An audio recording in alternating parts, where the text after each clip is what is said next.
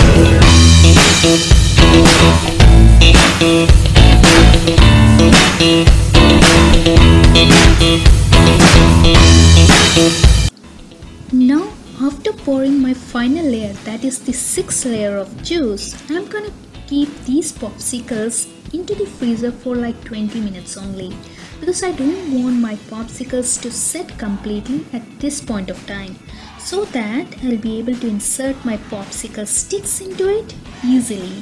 Just don't press it to the bottom just a little very gently like first or second layer so that I'll be able to hold my popsicles well later and then I'm gonna put the popsicles with their sticks back into my freezer to completely set.